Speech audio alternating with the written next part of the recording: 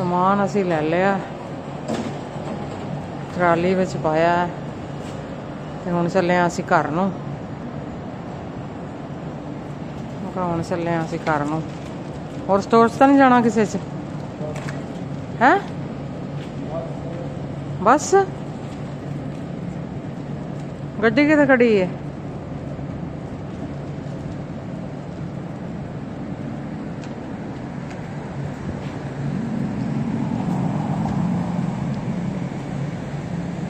Okay ਜੀ, ਸਤਿ ਸ੍ਰੀ ਅਕਾਲ ਸਾਰਿਆਂ ਨੂੰ।